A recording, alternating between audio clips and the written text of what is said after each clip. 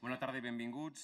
President del Parlament, molt honorable Roger Torrent, directora general d'Igualtat, senyora Mireia Mata i Solsona, vicepresidenta del Consell Nacional de Lesbianes, Gais, Bisexuals, Transgèneres i Intersexuals de Catalunya, senyora Joana López, diputats del Parlament, entitats LGBTI de Catalunya, autoritats i treballadors dels diferents departaments de la Generalitat, de l'administració local, convidats i convidades avui aquí. Benvinguts a aquest acte amb motiu del Dia Internacional contra l'homofòbia, la lesbofòbia, la transfòbia i la bifòbia. És bo eh, recordar avui eh, el, el perquè d'una jornada com aquesta. L'any 1990 l'Organització Mundial de la Salut, l'OMS, va suprimir l'homosexualitat de la seva llista de malalties mentals. Des d'aquell moment, els col·lectius de lesbianes, gais, transexuals i bisexuals reconeixen el 17 de maig com a símbol de l'eliminació de l'homofòbia i reivindica que les Nacions Unides l'assenyalin com a Dia Internacional contra l'Homofòbia per tal de denunciar, reflexionar i actuar contra aquesta discriminació. Bé, malgrat els, els avenços arreu del món, l'homosexualitat, eh, convé recordar-ho, encara està perseguida i castigada en molts països, fins i tot amb la pena de mort, i molts d'altres no disposen de cap mena de legislació que protegeixi les persones lesbianes, gais, transexuals i bisexuals davant dels actes de discriminació. Ho hem escoltat eh, altres vegades, molts dels que, dels que som aquí, però convé també recordar-ho. Eh, almenys a 80 països, i subratllo a 80 països del món encara consideren il·legal l'homosexualitat i en set d'ells els actes homosexuals poden comportar la pena de mort. La celebració d'aquest dia, del 17 de maig, eh, té doncs, com a finalitat coordinar internacionalment l'organització d'activitats per incrementar la consciència sobre aquest tipus de discriminació i, molt important, estimular l'interès de les autoritats i de la resta de ciutadans, perquè aquest és un assumpte que demana el compromís de tothom, no només de les persones que avui som aquí i que potser ens podem sentir eh, interpel·lats amb aquesta causa, sinó de tota la societat en general. Malgrat els diferents avenços legislatius que s'han produït els darrers anys i sobretot eh, a Catalunya amb, amb la llei eh, 11 barra 2014 del 10 d'octubre, la, la realitat social eh, encara arrossega molts prejudicis que, que dificulten la, la igualtat real. Només cal veure els casos de, de bullying que hi ha a l'escola, i molts de vostès els deuen, els deuen conèixer, o les agressions que pateixen moltes lesbianes, transexuals o homosexuals que decideixen no amagar-se, que decideixen viure la seva sexualitat, la seva orientació sexual i el seu amor sense amagar-se. Tot això encara passa i també cal subratllar-ho i cal dir-ho. Des de l'any 2012 eh, es commemora aquest acte al Parlament de Catalunya i d'una manera rotativa les persones dels diferents col·lectius tenen el protagonisme eh, de llegir el seu manifest com a mostra de la lluita incansable a favor dels drets de les persones LGBTI. Enguany, el col·lectiu de persones trans està representat per les diverses persones que ens adreçaran d'aquí uns minuts algunes paraules. Abans d'escoltar-los, però, eh, escoltarem una, una primera peça musical. Ja els tenim aquí, aquí preparats. Ells són en Sergio Monsalve, contratenor, i en Francesco de Grazia a la guitarra. Són alumnes del màster en interpretació de música clàssica i contemporània en les especialitats de cant i guitarra del Conservatori del Liceu. Endavant, quan vulgueu.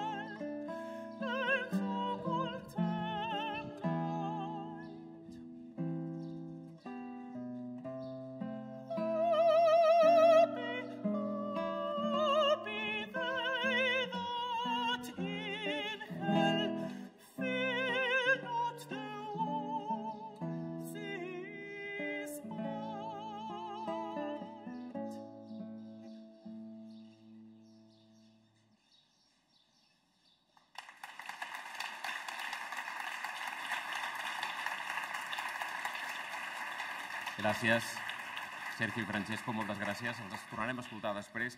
És el moment d'escoltar els, els parlaments en, en l'acte d'aquesta tarda. El primer ens l'adreçarà la Judit Joanuix, membre del col·lectiu trans.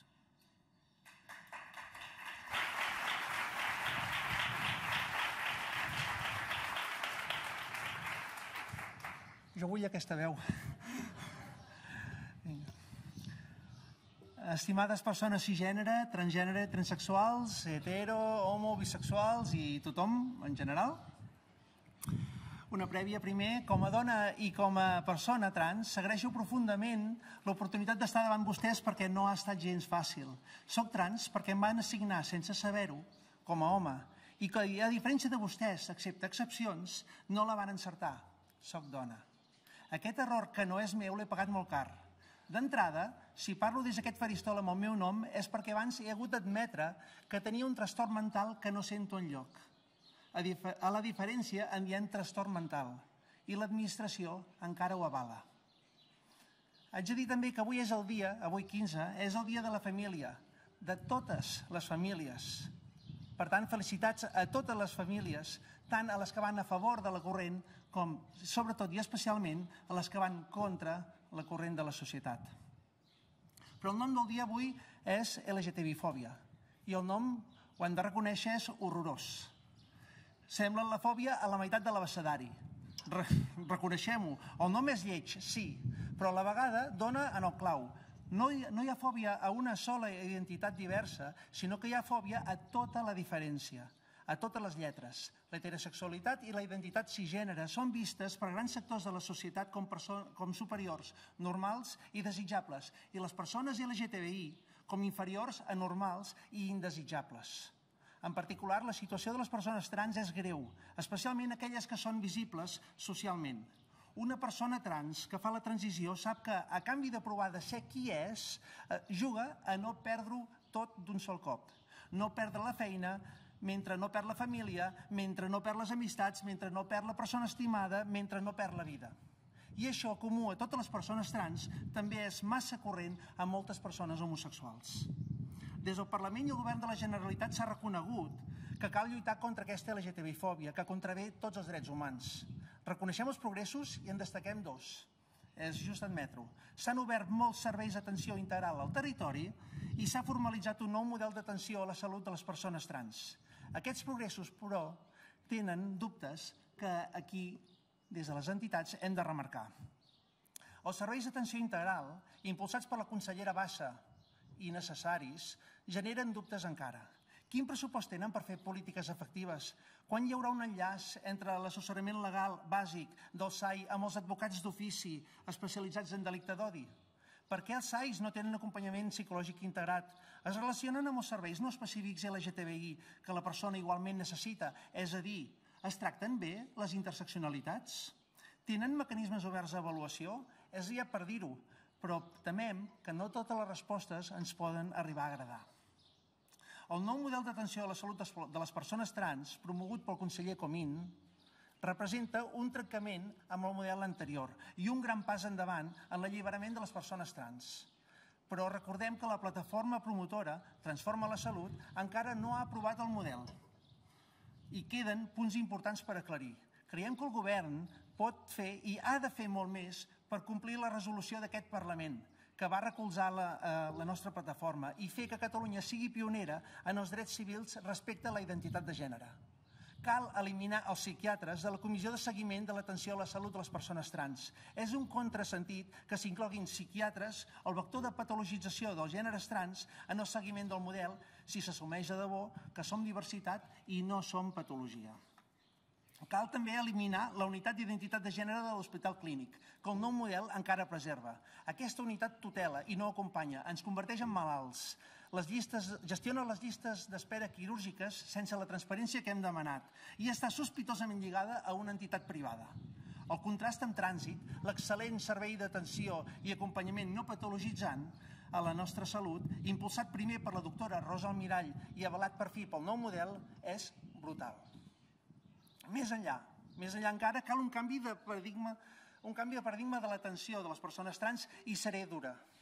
Una dona també pot necessitar una revisió de la pròstata i un home pot quedar prenyat, fet que naturalment no està inclòs en la llei de la reproducció assistida, entre altres mancances d'aquesta llei i la seva implementació que esperem que també es resolguin. Ho saben els uròlegs? Ho saben les llevadores? Saben vostès que puc fer-me mamografies perquè se suposa que tinc una disfòria de gènere? i no perquè la necessito. Ho, sabe, ho sabien que molts ginecòlegs es neguen a tractar vagines de dones trans que queden desateses? Integrar la diversitat no és encendre una llumeta, un avís, cada vegada que com a ciutadana em cal un servei. És que no faci falta ni cap llumeta ni cap, ni cap avís. És això, integrar. Hi ha avanços, sí, i realment els agraïm agraïm molt al, al govern i el que, el que ha fet fins ara, però la societat i els seus representants, Parlament, Govern i organismes de la Generalitat, els queda la tasca fonamental, que és realment integrar aquesta diversitat de gènere i efectiva de debò, més enllà d'actes com aquest, que també són importants. I posaré exemples. Mitjans de comunicació, cal que en les produccions audiovisuals els personatges trans siguin representats per persones trans. S'imaginen actors blancs pintats de negre per fer papers de persones negres? i que la corporació, a més a més, subvencionés o comprés aquestes produccions? Això és justament el que passa avui amb les persones trans. Com puc queixar-me que a mi se'm vegi com un home amb faldilla quan l'únic contacte que la majoria d'aquest país té amb les persones trans és un capítol de sèrie on surt un home que ho fa molt bé i està ben, molt ben disfressat de dona? Admeto que la llibertat de creació permet aquests productes, però no es pot admetre que hi col·laborin els mitjans que fan un servei públic, perquè no ens visibilitzen, ens exploten. Formació. Qui parla a les escoles, els educadors, sobre les identitats trans? Les persones cisgènere. La representativitat de les persones LGTBI incompleta en, l'educació efectiva diversa és nula en l'educació en la identitat de gènere. Fan falta educadors eh, socials trans? No, perquè hi són i estan a l'atur. Fa falta que l'administració interioritzi que les persones trans també podem formar i, en l'últim terme, també cal que, que hi hagi pressupost per, això, per fer-ho això possible. Educació. El suïcidi de menors trans i homosexuals per bullying és regular, com ho demostra l'últim cas, el de la Talia, que va passar fa només 10 dies. La LGTBI-fòbia és la causa més important de bullying i no sorprèn. Us heu mirat els llibres de text eh, o les activitats? Em refereixo als llibres de text de biologia. Refereixo als llibres de text de, de, de, de, que, que, que representen persones, eh, famílies en fotos. On són els models efectius i de gènere diversos? En lloc de les 32 tutories que té un curs, quantes se'n parla de tot això? Justícia. En quants judicis per acomiadament o bullying laboral s'ha obviat el component LGTBI-fòbic? Hi ha centenars de dones trans a Catalunya amb fills. Quantes d'elles han aconseguit la custòdia dels fills en un judici de divorci? Ben poques.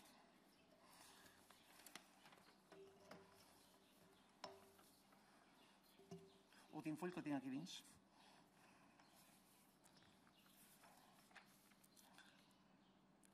Treball, finalment, i seré breu. Dieu-me un sol incentiu fiscal o programa perquè les empreses contractin persones LGTBI en risc d'exclusió.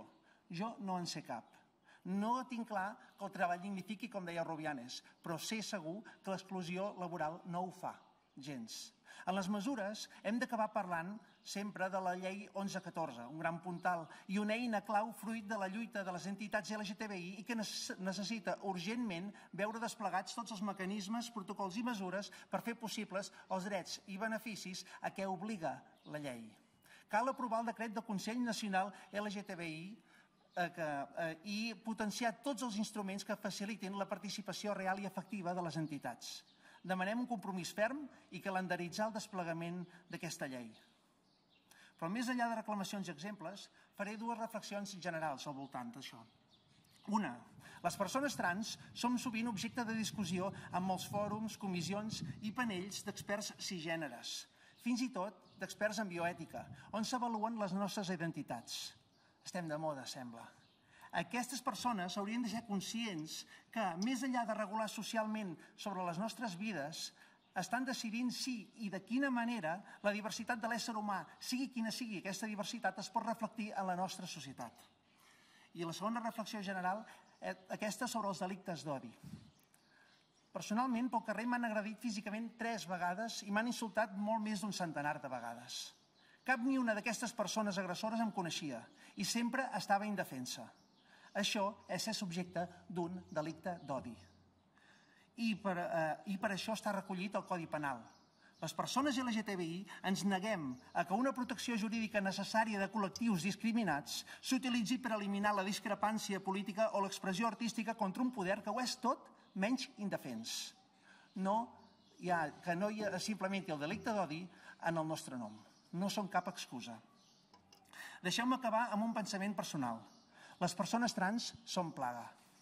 El fet trans és infecciós perquè la llibertat, la llibertat es contagia. Només així s'explica que, les persones, que el nombre de persones trans a Catalunya creixi de manera exponencial. Ja som milers i encara estem pujant. I, de fet, podeu pensar en qualsevol àmbit de vida que, que us afecti de manera personal.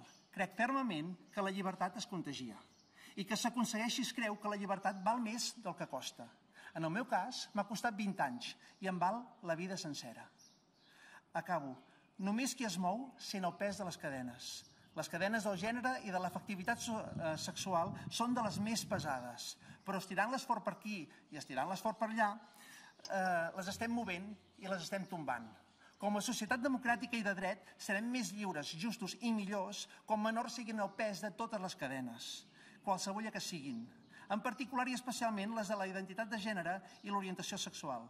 I en vostès, senyores, senyors diputats, recau la grandíssima feina de fer-ho possible. Moltes gràcies.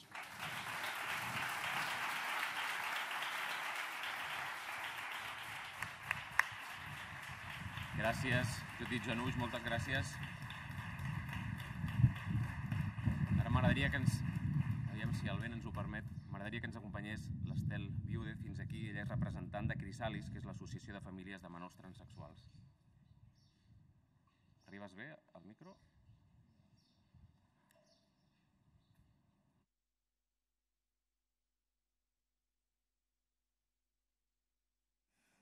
La meva família és membre de l'Associació de Famílies Menors Trans, Crisalis, i m'han demanat que expliqui la meva vivència com a nena trans. Començo. Doncs bé, de quan tenia 3 anys no me'n recordo, però la iaia Mercè m'ha dit que els reis em van portar un estoig de maquillatge.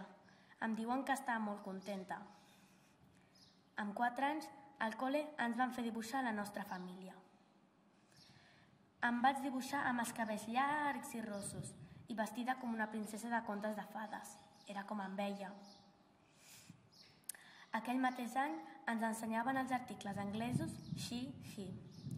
Cada nen i nena havia d'ajuntar-se amb el grup She o amb el grup He. Jo anava cap al She, però els nens em cridaven perquè anés amb ells. Em vaig aturar enmig dels dos grups, fins que al final el meu amic Guillem em va estirar cap al grup He. D'això no me'n recordo, però la mestra li va explicar als meus pares. Des de sempre i fins al trànsit, volia que les festes d'aniversari els nens vinguessin disfressats, així, jo em podia disfressar de campanilla, blancaneus, etc. I quan, acaba dels meus, I quan anava a casa dels meus cosins, també. Obríem el baúl i ens disfressàvem tots, jo sempre en femení. Amb sis anys vaig plorar molt el primer dia que havia d'anar al col·le amb uniforme. I vaig anar amb pantalons. Jo volia dur faldilles, com totes les altres nenes. Vaig anar dos anys a classes de dansa. Em pensava que em donarien un tutú, com a les altres nenes. Però no, un altre cop, leotards. La professora, que ja veia alguna cosa, en la representació de final de curs em va posar unes ales i unes antenes de Marieta, que em van agradar molt.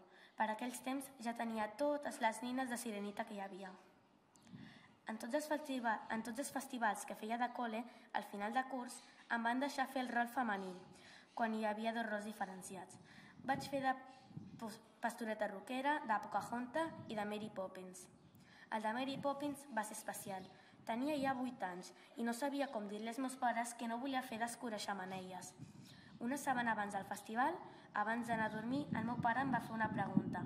Em va dir si era una nena. Li vaig respondre que sí. Vaig fer el festival i una setmana després, per festa major, vaig demanar-li als meus pares que volia anar vestida amb la roba de la meva germana gran.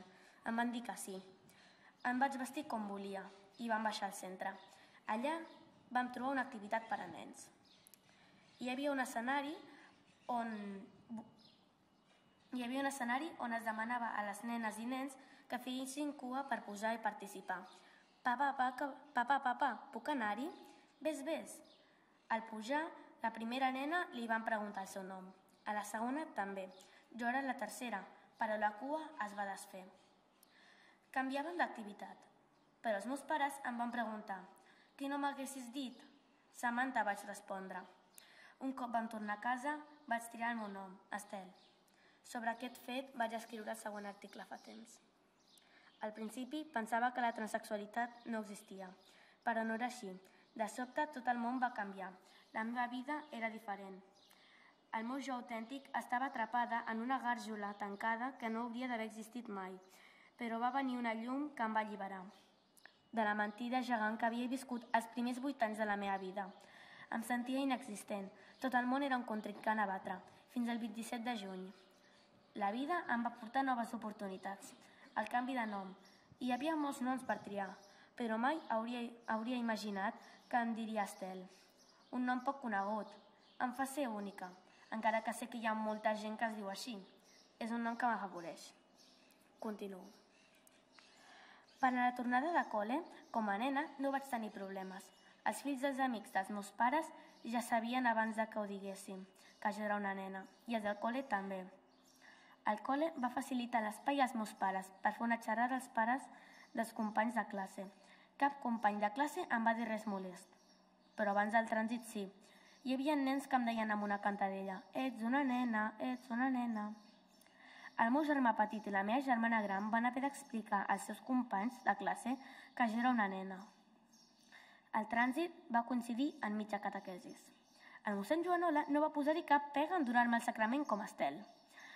Tot i que va dir, Déu no s'equivoca, és la biologia qui s'ha equivocat. Jo penso que la biologia no s'equivoca, senzillament la biologia és. No va passar el mateix amb la confirmació. El bisbe, per motius incontrovertits que suposo que mai sabré, no em va anomenar en la cerimònia i vaig estar, però per al que sigui, el meu nom no era en el llistat. Llavors, feia mig any que vivia com a nena. Ens van fer membres de Crisalis. Els meus pares van pensar que conèixer altres persones trans ens aniria bé a tots. I així va ser. Vaig conèixer amigues que encara conservo.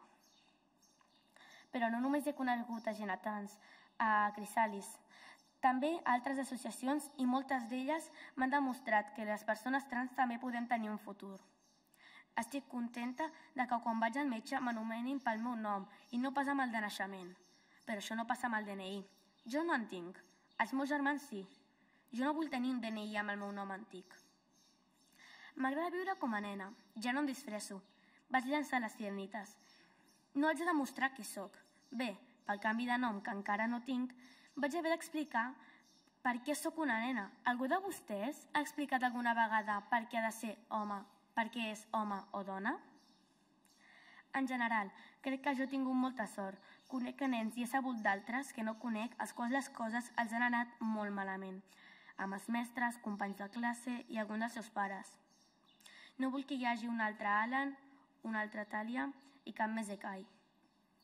Vull que la gent sàpiga que la transexualitat no és una malaltia. Vull que s'ensenyi que el cos del mascle no és el cos de l'home i que el cos de la família no és el cos de la dona. Que hi ha homes i dones que tenen cossos diferents a la majoria i que això no ens fa ser ni pitjors ni millors. Som senzillament diferents, di diferents de la majoria, diversos, poc freqüents. Vull que s'ensenyi a les escoles que ser home no vol dir tenir penis i que ser dona no vol dir tenir vulva, per la qual una dona que té penis és una dona de primera, igual que una dona que té vulva. No em crec que això no, I no em crec que això no es pugui ensenyar als col·les, no m'ho crec. Els pares de Crisalis ho estan ensenyant als col·les i si ells poden ensenyar-ho, els mestres també poden fer-ho.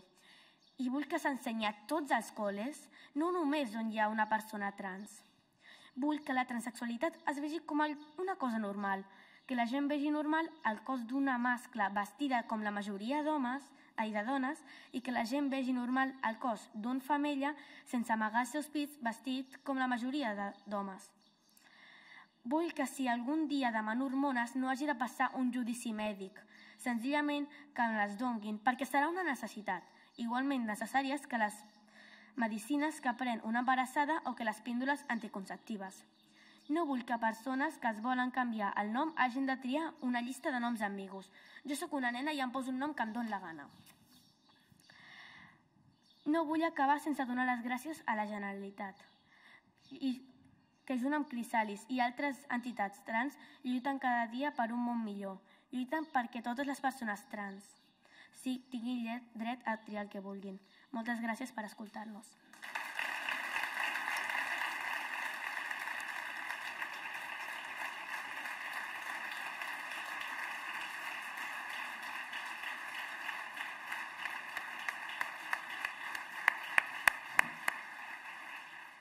Gràcies, Estel. I enhorabona per parlar tan clar. Enhorabona, de veritat. Uh, ara escoltarem la, la Joana López, vicepresidenta del Consell Nacional LGBTI de Catalunya. Endavant.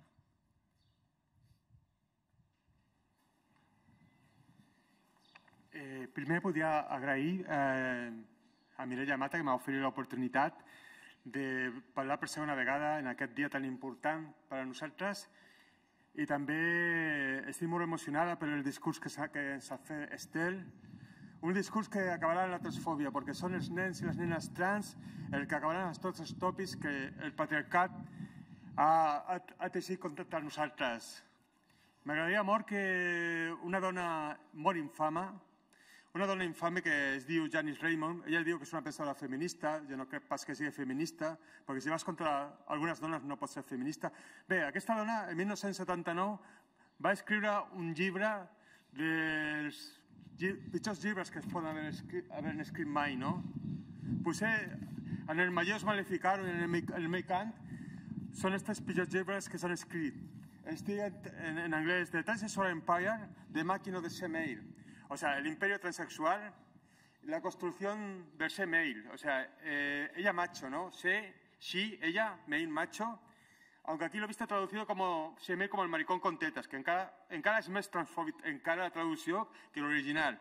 Bé, m'agradaria molt que la senyora Janice Raymond hagués escoltat aquest discurs que s'ha fet Estel, perquè segur, perquè segur que cauria com va caure Saulo de Tarso del cavall camí de Damasco quan anava a perseguir els cristians.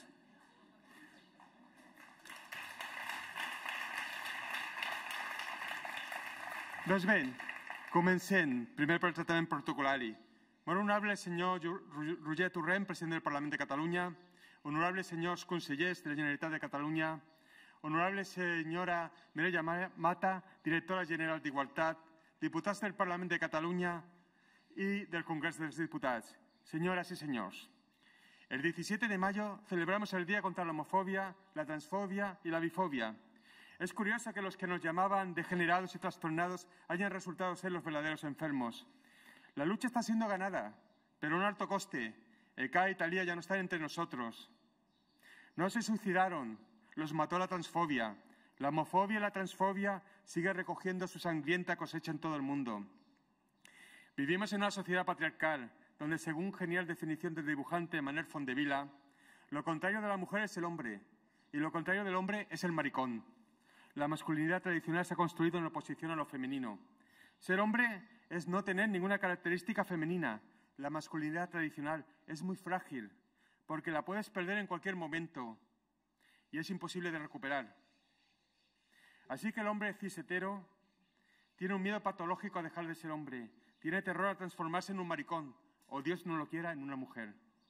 Es seguramente este, esta una de las causas de la homofobia y la transfobia, el miedo del macho patriarcal a perder su privilegiada posición, su pavor a dejar de ser hombre y convertirse en una mujer o en un maricón. Yo nací el 15 de junio de 1968 y la verdad es que me hubiese gustado nacer 20 años después. La España de finales de los 60 y de la década de los 70 era ferozmente transfóbica y homofóbica.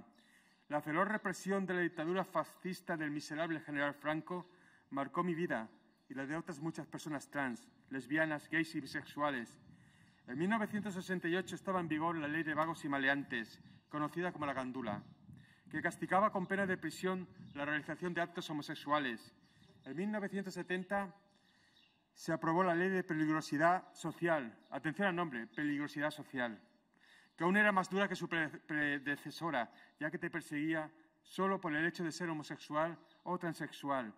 Este endurecimiento de, la legislación se debió al temor que los fascistas tenían al amariconamiento de España.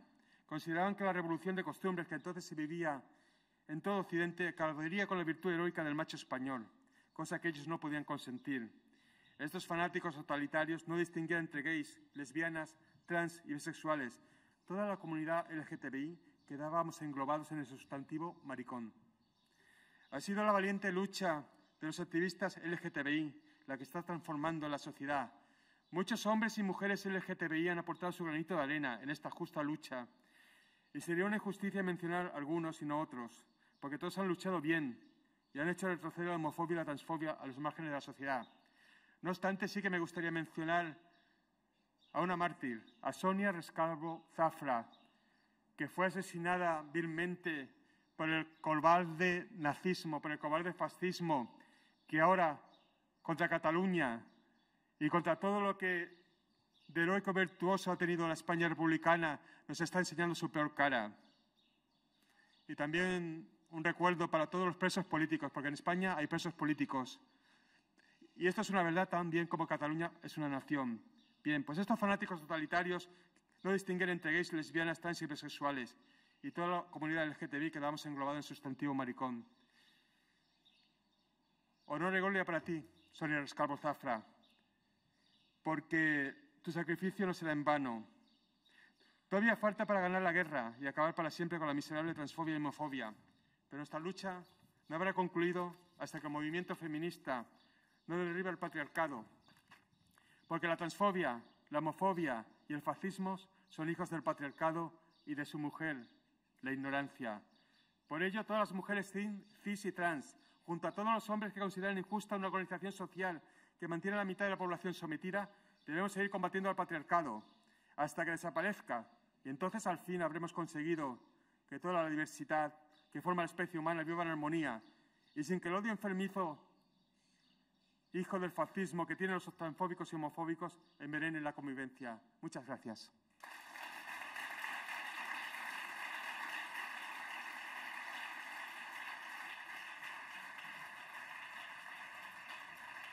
Moltes gràcies, Joana López. L'últim Parlament de la tarda ens l'adreçarà el president del Parlament, el senyor Roger Torrent.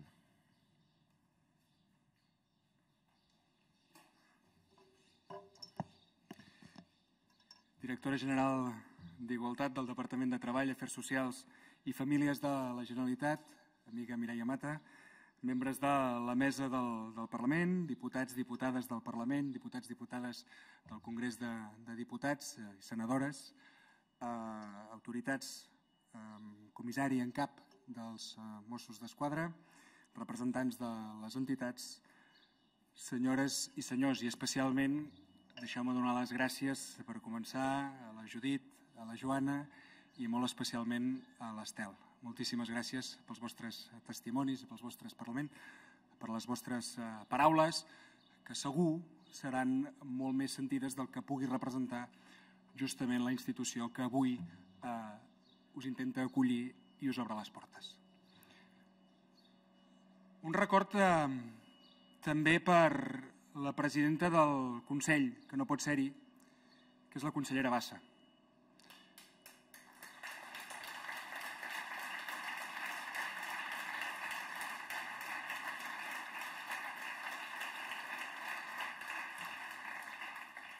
Avui la consellera Bassa hauria també de ser aquí, obertament, tranquil·lament, lliurement. I de fet parlem de llibertat. Avui parlem de llibertat. Parlem de llibertats col·lectives, però sobretot de llibertats individuals. De llibertats que ens afecten a totes i a tots. De llibertats personals. De llibertats de les persones. Aspirem a una societat lliure, una societat en què cadascú pugui ser el que vulgui ser, que cadascú pugui estimar com vulgui estimar. Aspirem a una societat d'individus lliures, que pugui decidir el seu futur, que pugui decidir el seu nom, que pugui decidir què fa amb la seva vida.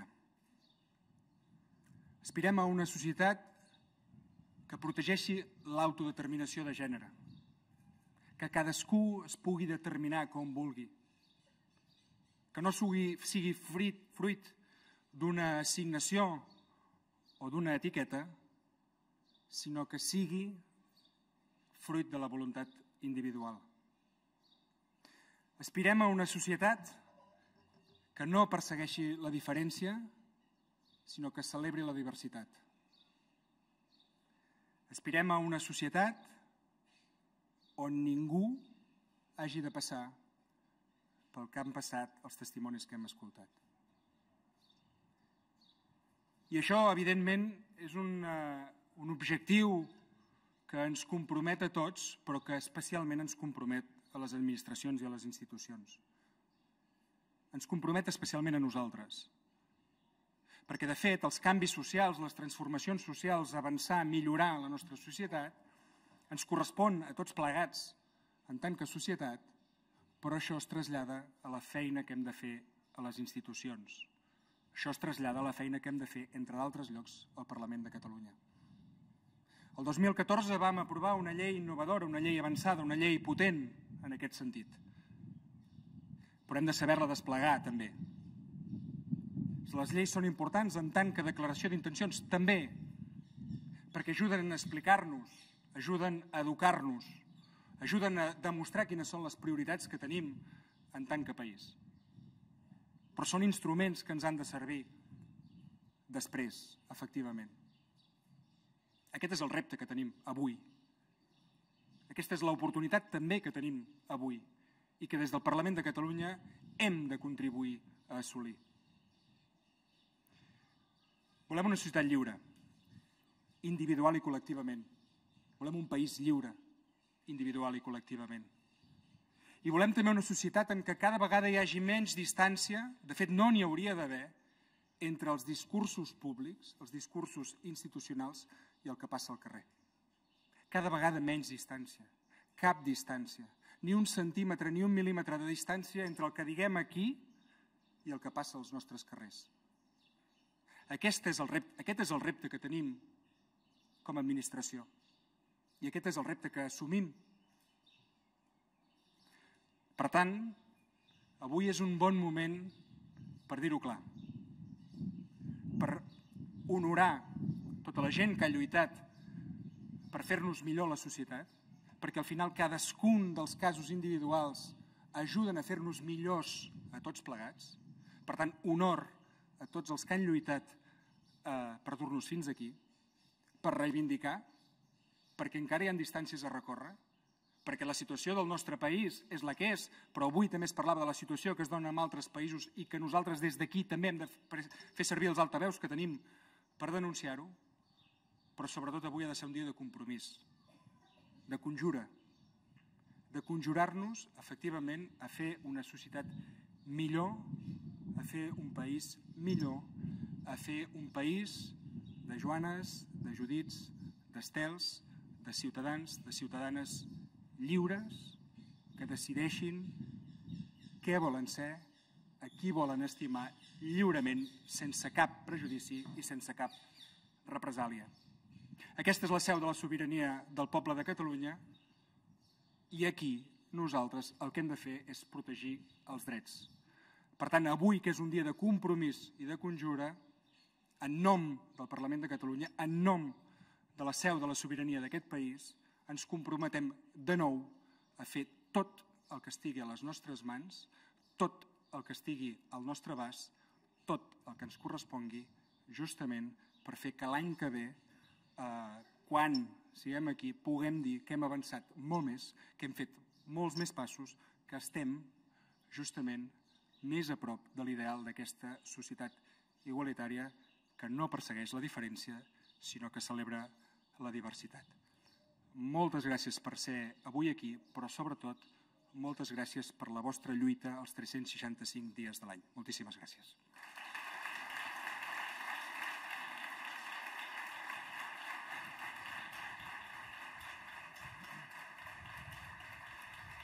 Moltes gràcies, president. Acabarem l'acte, com l'hem començat, amb música, així que li demanaria al Sergio i al Francesco que s'acostin fins aquí, que ens interpretin una última peça musical abans d'acabar.